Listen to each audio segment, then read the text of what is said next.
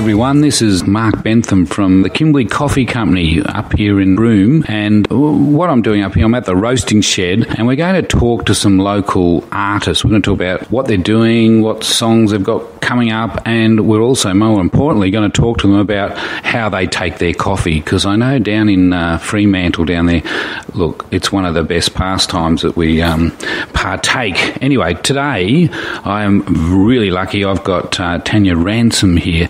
Um, and we're going to talk to her a little bit about uh, where she's come from, um, what's influencing her. Uh, we're going to talk about some of her um, uh, songs that she's got on her, de- her, debut album, and we might play a few. So, look, I'm just going to introduce you to Tanya, and um, we're just going to see. Well, Tanya, just tell us a little bit about you and where you came from.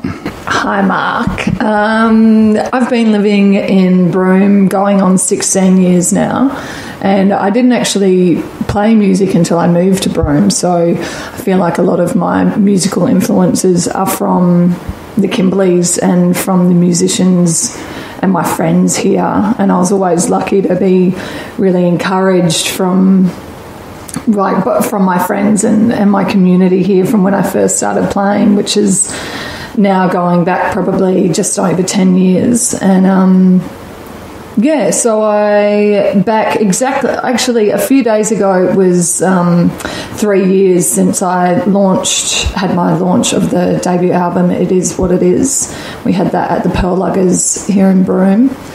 And yeah, look, I I remember it was a great night, and uh, it was so exciting. And look, your music really resonates with um, the people of Broome and also Western Australia.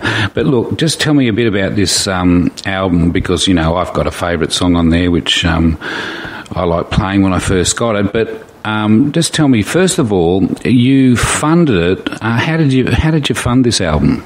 I did a crowdfunding through Pozible, and so I just kind of utilised, by I guess, fans that I already had and the community here and people, I guess, all around Australia that, that contributed to, I guess, they were just pre ordering the album, which helped immensely to record it, which we did at a friend's place here in Broome. I had Dave Mann from the southwest, from Margaret River, come up to Broome and co produce and engineer the album. And at the time, I'd been playing a lot with um, with my band, who was Harry, Harry Jackamara on banjo and bass, Albert Gray was on drums, and then I also had Will Thomas on some lead guitar. And then I was lucky enough to have a few friends like like Dave play and do um, some backing harmonies. And then on one particular song, I had um, Missy Higgins play some piano, and another good friend Iba add some violin. So that was so wow, you had um, a pretty good look um, support there. Um, so look, what we're going to do, we're going to play one of the songs from the album, and this is uh, look, you're supposed to pick it, but I picked this one because my daughter loved it, and it seems to resonate with. Um, um, younger people as well as older people, and this song that's um, from the album, it is what it is, and it's called Under the Sea. I went down by the seaside today.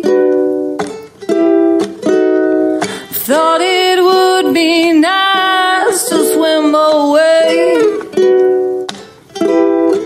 I let the water touch my skin. I took a breath and I dived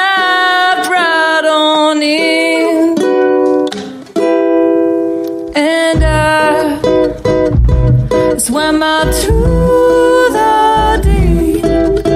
There's no turning back, no, no turning back to the shore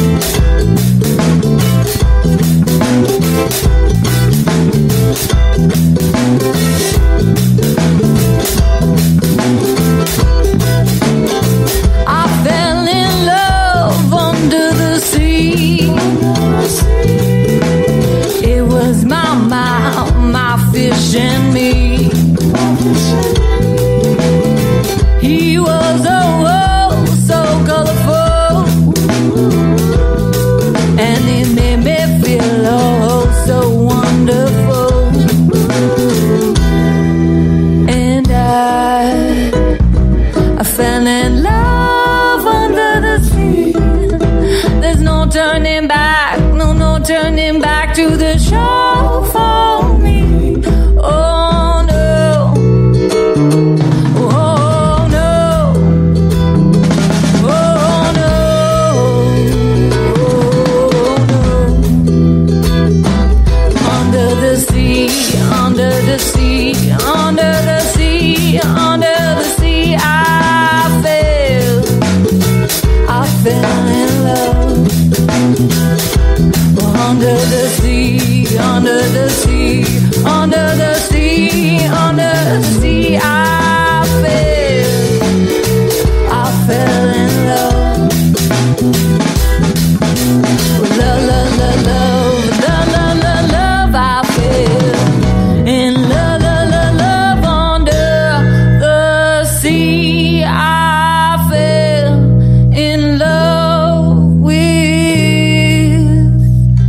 a fish. Hi, oh, I love that song. It just resonates with me and my daughter and most of um, Broome and also people down there in Fremantle. So, um, there's a bit of a backstory there, Tanya, about that song. Yeah, there is with Under the Sea. I, funnily enough, I wrote it about a fish. It is a true story about a fish. I, um, when I was doing a tour and playing in some gigs in Coral Bay and Exmouth, and it's just the most amazing snorkeling straight off the beach there. And I wrote a little ukulele song about falling in love with a fish. And and has it, it surprised you how that song has sort of jumped out from a lot of the other songs? Yeah, it has actually. Like, I find most people, if they are going to request one of my songs, that is the song that they'll they'll really like. Yeah. Yeah, no, it's a great song. So, just tell me this: what's happening now with Tan- Tanya Ransom? Uh, I'm currently working on um, my next album, which I'll be going into the studio soon and laying down that with Dave Manigan, but this time in Margaret River. Yeah. Okay. Well, we'll look forward to seeing that, and I'm sure we'll have a little conversation about that when it's ready. But look, let's just play another song um, off your debut album. Uh, what are we going to play now? We're going to play the title track, although I call it the almost title track to the album. Um, it is just what it is. And yeah, so enjoy it. Okay. There. Let- Look forward to listening to it. When you're down and out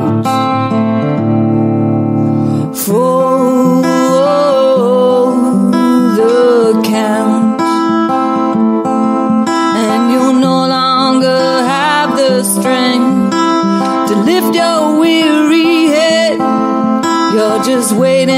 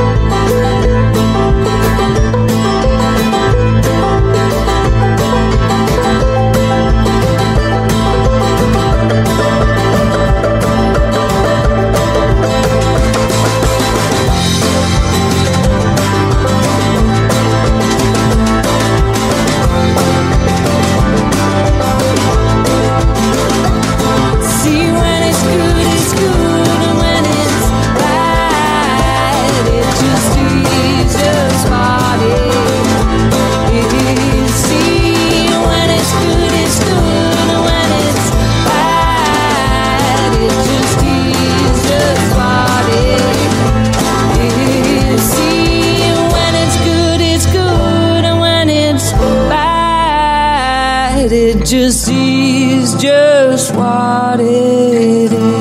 Oh, love that song too. Look, if you get a chance to see Tanya live, look, I suggest you do. So she'll be around. She's around in Broome over the dry and down south over the wet and travelling all over the place. Um, but look, you know, if you want to grab this album, and it's just a, a really good album to have in your collection, um, Tanya, how do you get this album? Well, people can, if they want a digital download, they can go onto iTunes or CD Baby, or they can go if they if you want a physical copy, you can go to tanyaransommusic.com.au and you can purchase a copy on that, and I'll mail it out to you. Oh, sounds great. And look, would, will you sign it? Yes. Oh, okay. Oh, I'll be in that. But look, now, now we're getting to um, what we're, we're. One of the reasons we're actually talking to you is that, you know, we all love coffee, and especially being in Fremantle, it's the coffee strip, and I just have some of my favourite cafes down there. But look, tell me, because we all want to know, how do you like your coffee? I like my coffee as a soy flat white.